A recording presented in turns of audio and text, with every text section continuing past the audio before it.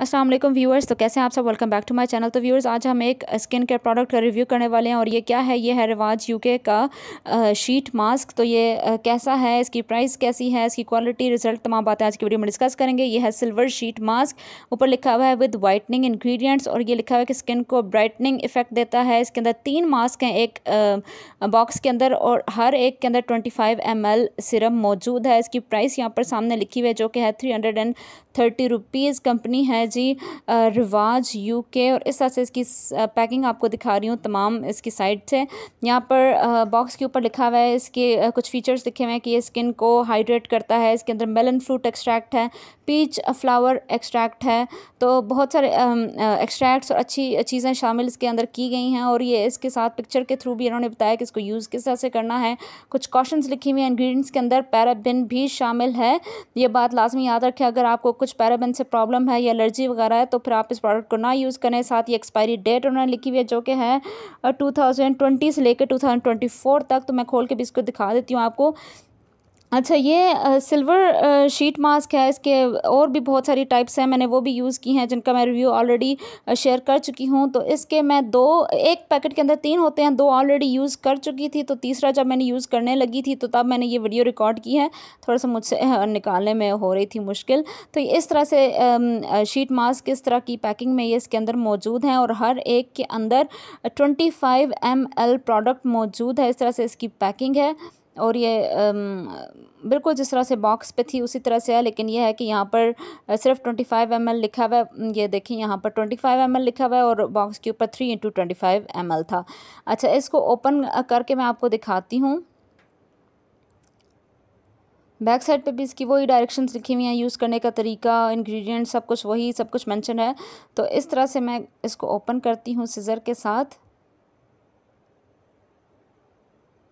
आपने केयरफुली इसको ओपन करना है क्योंकि इसके अंदर बहुत सारा सिरम मौजूद होता है तो वो गिर के ज़ाया ना हो जाए। आपने इसको आराम से इसको ओपन करना है और ये इस तरह से दिखता है ओपन करने के बाद। जैसा भी है, ये मैं बिल्कुल इसी तरह से आपको दिखा रही हूँ। कोई वीडियो मैंने कट नहीं की ताकि आप बिल्कुल सही से देख सको। अच्छा जिस तरह कि मैंने पहले भी अपनी वीडियोज़ में आपको बताया था कि इसके अंदर देखें बहुत ज़्यादा सिरम मौजूद होता है तो मैंने पहले जो एक सिरम ये शीट मास्क यूज़ किया था तो मैंने इसको प्रेस नहीं किया था तो इसी तरह अपने फेस पर अप्लाई कर दिया तो वो टपकता रहा और उसका बहुत सारा सिरम ज़ाया हो गया। तो फिर मैंने इसीलिए ये तरीका इसका यूज़ मैं करती हूँ कि ऐसे देखें, हल्का सा प्रेस करती हूँ पैकेट के अंदर ही। बहुत ज़्यादा ना प्रेस करें कि खाली हो जाए, हल्का सा प्रेस करें ताकि जो टपकने वाला इसका सिरम है वो सारा निकल जाए और ज़रूरत वाला सिरम सिर्फ़ मास्क के अंदर रहे। तो ये देखें, पैकेट के अंदर आपको नज़र आ रहा है, सारा सिरम मौजूद है। इसको आपने वेस्ट नहीं करना, आप इसको हाथों पर अप्लाई करें, आप अपनी नेक पर अप्लाई करें, जहाँ आप अप्लाई करना चाहते हैं। कर लें, नहीं तो आप इसको बॉटल में डाल के इसको प्रिजर्व भी कर सकते हैं और अगले दो तीन दिन भी इसको यूज़ कर सकते हैं। तो इस तरह से इसको आपने बहुत ही आराम से खोलना है ताकि ये ख़राब ना हो। और ये ऐसा ये जो मास्क है, ये बाकी वाले मास्क से थोड़ा डिफरेंट है। इसकी ये एक लेयर उन्होंने सिल्वर के ऊपर बनाई हुई है। बाकियों के ऊपर इस तरह से नहीं थी। बाकी जो इसके टाइप हैं मास्क के, वो सिंपल वाइट कलर की उनकी शीट होती थी। तो ये जो है, ये सिल्वर है, इस तरह से है।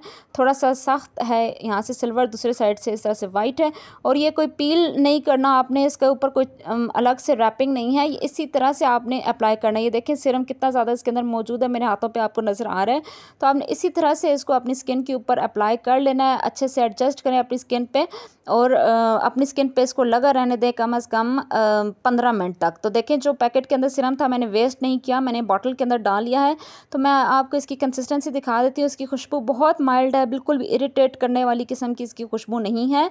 बहुत ही हल्की फुल्की सी इसकी खुशबू है, तकरीबन ट्रांसपेरेंट इसका सिरम है और बहुत ही रनी कंसिस्टेंसी में है इसका सिरम जिस तरह दूसरे मास्क में थोड़ा सा थिक सिरम था, इसकी नस्बत थोड़ा सा थिक था, वरना तो पतला ही था। लेकिन ये वाला थोड़ा सा थिन है इजीली स्किन के अंदर एब्जॉर्ब हो जाता है। और अच्छा अब बात करते हैं इसके रिज़ल्ट की।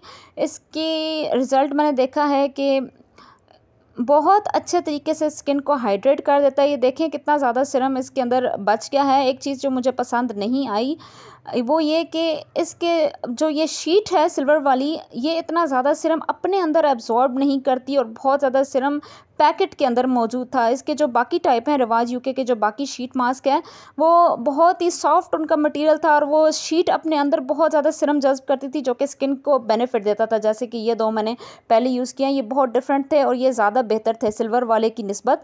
बाकी दोनों ज़्यादा अच्छे थे। ये वाला शीट मास्क अगर इसको प्रेस ना भी करो तो भी इतना ज़्यादा पैकेट के अंदर बचा हुआ होता है। इस शीट के अंदर इतना ज़्यादा होल्डिंग कैपेसिटी नहीं है, यानी कि ये, मुझे इतना बेनिफिशियल नहीं लगा जितने कि बाकी इसके शीट मास्क अच्छे थे। तो ये सख्त होने की वजह से ज़्यादा सिरम को अपने अंदर जज्ब नहीं कर सकता और वो, देखें, इस तरह से बच गया है। तो जब अपने अंदर जज्ब नहीं करेगा तो वो स्किन के ऊपर भी इतना ज़्यादा उसको स्किन को बेनिफिट नहीं दे सकता।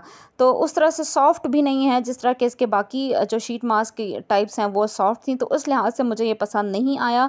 लेकिन स्किन को बहुत ही अच्छे तरीके से इसने हाइड्रेट किया है अच्छे सा इसने किया है। मुझे इसकी ये बाकी दोनों बहुत अच्छे लगे हैं। ये मैं आपको बार बार दिखा रही हूँ कि वो ज़्यादा अच्छे थे। अच्छा इसमें जो लिखा हुआ है वाइटनिंग इंग्रेडिएंट है और ये मतलब वाइटनिंग इफ़ेक्ट देगा, वो चीज़ नहीं है। मतलब इसने स्किन को वाइटनिंग इसने बिल्कुल भी नहीं दी, जो साथ दिखा हुआ है कि एंटी एजिंग है और ब्राइटनिंग इल्यूमिनेटिंग इफ़ेक्ट है, वो ये है कि स्किन को, क्योंकि ये हाइड्रेट बहुत अच्छे से कर लेता है डीपली इस वजह से ये स्किन को एक ग्लो प्रोवाइड करता है, लेकिन बहुत ही आउटस्टैंडिंग किस्म की नहीं है, अच्छे से ग्लो प्रोवाइड करता है। अच्छा अगर आप सोचें कि इसको पील करके लगाना था तो ऐसा कुछ भी नहीं है अगर ये ऊपर से एक लेयर इसकी पील होनी थी तो ये यहाँ पर बता देते जो उन्होंने डायरेक्शंस लिखी हुई हैं। लेकिन ये ऊपर से इसका पील नहीं उतरेगा ये इसी तरह से फेस पे अप्लाई होगा क्योंकि मुझे पता है कमेंट सेक्शन में सबने कहना है जी ऊपर से एक लेयर इसकी ये उतर जानी थी। ऐसा कुछ भी नहीं है।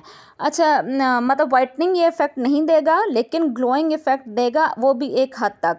तो प्राइस इसकी बहुत मुनासिब है तीन रुपये में तीन मास्क आपको मिल रहे हैं यानी कि एक रुपये का एक मास्क मिल रहा है जो कि बहुत ही अफोर्डेबल है। तो मैं बहरहाल इसको सजेस्ट नहीं करूँगी। इसके जो बाकी दो शीट मास्क थे, वो मुझे ज़्यादा बेहतर लगे, लेकिन इन तीनों में से जो ग्लोइंग सिरम शीट मास्क जो अभी आप देख रहे हैं, अगर आपने कोई ख़रीदना ही है तो इसको परचेज़ करें। इसका रिज़ल्ट बहुत अच्छा था वाइटनिंग नहीं, लेकिन ग्लोइंग और स्किन को नरिश इसने बहुत अच्छे तरीके से किया अगर कोई मज़ीद क्वेश्चन हो तो मुझसे कमेंट सेक्शन में ज़रूर पूछेगा। अगर आपने ये शीट मास्क यूज़ किया है तो अपना रिज़ल्ट लाजमी मेरे साथ शेयर कीजिएगा। अपनी दुआओं में याद रखिएगा। Take care of yourself Allah हाफिज़। Bye bye link description box में दे दूँगी।